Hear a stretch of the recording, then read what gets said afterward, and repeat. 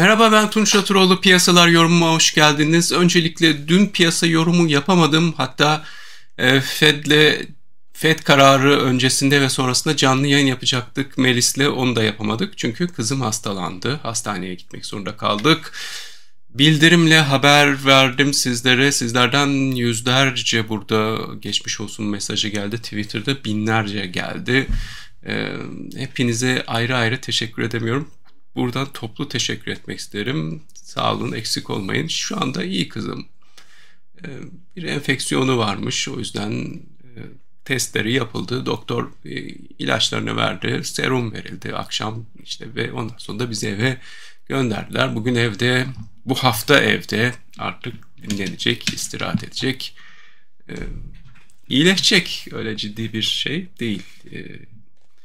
Şimdi e, tekrar teşekkür ediyorum sizlere. Şimdi e, iki konu var. Biri bizim yurt içi, biri yurt dışı. Yurt içinde hemen söyleyelim. Borsada şöyle bir düşen trendimiz vardı. İşte 2 saatlik artık bunu biliyorsunuz beni takip edenler biliyor. Süper trend 3 e, 3 ile bakıyorduk değil mi süper trende? Evet 3 ile bakıyoruz. Onu da göstermiş oldum size tekrardan. 3 ile bakıyoruz. İşte şöyle bir tepki yükselişi geldi dün. Tepki yükselişi geldi. Bakın buradan süper trendi geçemedi. Teyit aldı. Buradan tekrar düşüyor. Yani şöyle belki işte şu kanalın altına doğru falan gelebilir. Bu saatten sonra da çok önemli değil. Yani bu hafta geçtikten sonra önümüzdeki hafta seçim haftası. Seçim öncesi haftada çok fazla hareketler olması yani son haftada çok fazla hareketler olması beklenmiyor. Aynı şeyleri defalarca da konuşmak istemiyoruz. Eğitim grubuma nasıl bir strateji yapılabilir diye video gönderdim. Eğitim grubumdaysanız Discord sunucusunda duyurular bölümünde var o.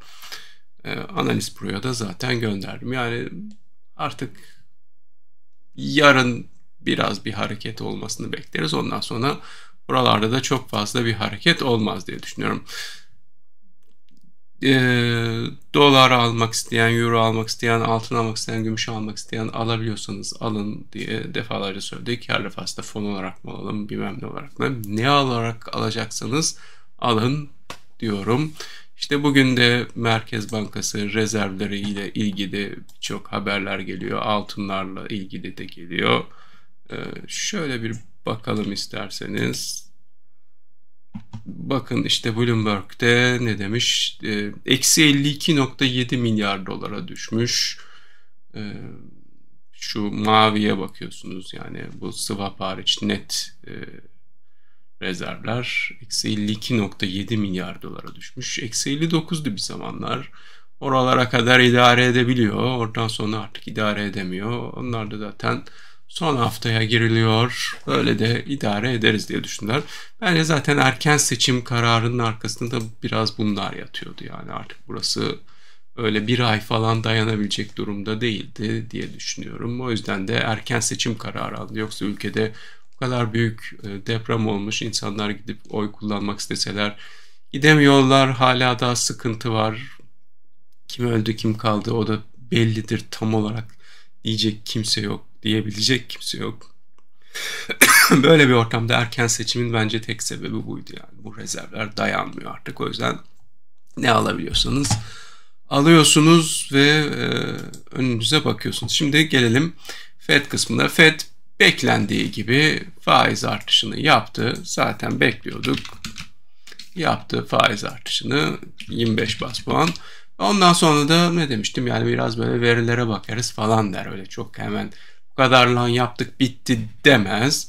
Ee, şöyle şu anda piyasada 14 Haziran bundan sonraki toplantı 14 Haziran toplantısında faizin sabit kalma ihtimali %96.8 %97 düşme ihtimali de %3.2 yani e, Powell böyle söylemiş olsa da faizin artmasını artık kimse beklemiyor bu saatten sonra. Niye böyle söyledi derseniz o da şöyle yani e, bu kadar e, dedik artık bu kadar faizi arttıracağız e, daha da arttırmayacağız demiş olsa Powell o zaman indirim beklentisi artacak insanlarda. Halbuki gerekli görürsek daha da faiz arttırırız denildiği zaman indirim beklentisi kalmıyor e, ya da daha ötelenmiş oluyor. Hatırlayacak olursanız bizde de Naci Ağbal zamanında gerekirse ek sıkılaştırma yapılacak deniyordu. Para Piyasası Kurulu e, toplantısındaki o metinde öyle yazıyordu. Gerekirse ek sıkılaştırma yapılacak. Yani biz şu anda bu kadar faiz uygun görüyoruz ama bu enflasyon düşmez daha da artacak olursa biz ek sıkılaştırma yapacağız diyordu.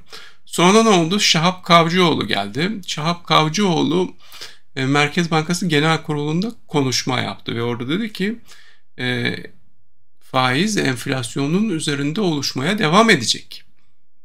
E, güzel ama ondan sonra metinden bu gerekirse ek sıkılaştırma yapılacaktır e, ifadesini de kaldırdı. Ne dedik o zaman? Tamam bu zaten buraya faiz indirsin diye getirildi. Faizi indirmek için getirdiler. Çok artık net olarak gözüküyor. E, faiz inerse de dolar çıkar tabii ki dedik o zamanlar. E, ve birçok troll de o zaman şöyle demişti yani enflasyonun üzerinde oluşacak faiz denmesi yeterli değil mi sanki? Yani, yani enflasyon artarsa da bu durumda zaten Kavcıoğlu faizi arttırmayacak mı? Tabii artık tartışmıyoruz bu insanlar anlamak istemedikleri için de o zaman da dedim yani yok siz anlamak istemiyorsunuz. Faiz indirmek için getirildi işte buraya bas besbelli yani böyle ki o zamanlar e, bas bas bağırıyorlardı. Hiç alakası yok. Yani bu faiz indirmek için getirildi, getirilmedi. Faiz indirmek için atanmadı. Tamamen işte piyasada şartlara uygun şekilde faizler olacak falan da Yiğit Bulut falan öyle şeyler söylemişlerdi. E, neyse yani şimdi e, gerekirse eksiklaştırma yaparız denildiğinde o zaman faiz indirmenin önünü e, kesmiş oluyorsunuz. E, Powell da bunu yaptı. Çok da çok da beklentiler dahilindeydi. Yani benim beklentim dahilinde. Piyasanın belki çok istediği bir şey değildi. E, piyasa tabii ki daha fazla şeyler isteyebilir. Şimdi öncelikle altınla başlayacağım. E, altın sizin çok çok altın soruluyordu. Şimdi efendim altında bizim takip ettiğimiz şey Amerikan 10 yıllıklardır. Amerikan 10 yıllıklarda da çok uzun süredir böyle gidiyor geliyor. Şöyle düşüş teyit aldı geldi falan buralara. Yani altın için e, pozitif bir ortam oluştu. Dolar endeksinde biraz düşüş var, biraz yükseliş var, karışıklık var. Şimdi bu tip şeyler oluyor biliyorsunuz.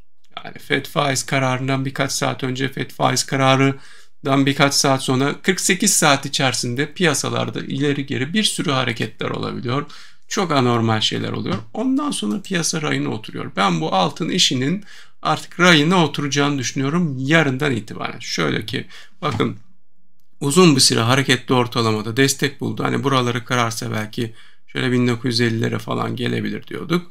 Kırmadı oraları ve işte e, salı günü de birazcık toparlandı şöyle ama önceki maksimum seviyelere kadar geldi. Dün çok acayip hareketler oldu. Bugün de gerçi oldu. Daha yüksek seviyelere de gitti. Şöyle 2066 falan ama yükseliş buradan teyit aldı. Bu ne demek? Bu şu demek. Yükseliş trendine girdiğini zaten altının söylüyorduk. 10 Mart'tan itibaren altın yükseliş trendine girdi diyorduk. Yükseliş trendinde halen tekrar yükseliş teyit aldı. Fed'in de daha fazla faiz arttırmasını beklemiyoruz. Böyle bir ortamda bütün düşüşler alım fırsatıdır. Herhangi bir düşüş olur mu bilemiyorum, beklemiyorum. Ben bundan sonra yükselişin devamını bekliyorum. Yani artık o kritik e, seviye 2040-2036 falan da bugün itibariyle aşılmış görünüyor. Yarından itibaren bugün bugün karışık olabilir bilemeyiz yani ama yarından itibaren olmadı önümüzdeki haftadan itibaren altının ve gümüşün yükselişini sürdürmesini bekliyorum. Zaten biraz da onun için size 3'e 5'e bakmadan alın diyordum. Yani biraz düşse bile buralardan 1950'ye falan düşecek oralardan toparlanacak. Ama siz Türkiye'de artık alamayacaksınız o noktaya gelecek işler diye o yüzden sürekli olarak e, söyledik zamanda sadece ons olarak bakıldığında buralarda belki bir şeyler e, olabilir biraz düşüşler falan olabilir demiştik.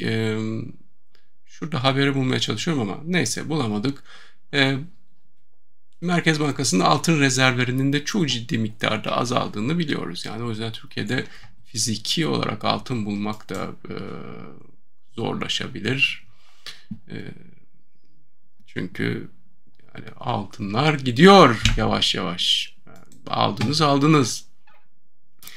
Şimdi evet altını söyledik. Ee, başka ne söyleyeceğiz? Dow Jones. Şimdi Dow Jones'ta e, şöyle bakın düşüş var. Şöyle bir evvelki şeye kadar. S&P'de de düşüş var.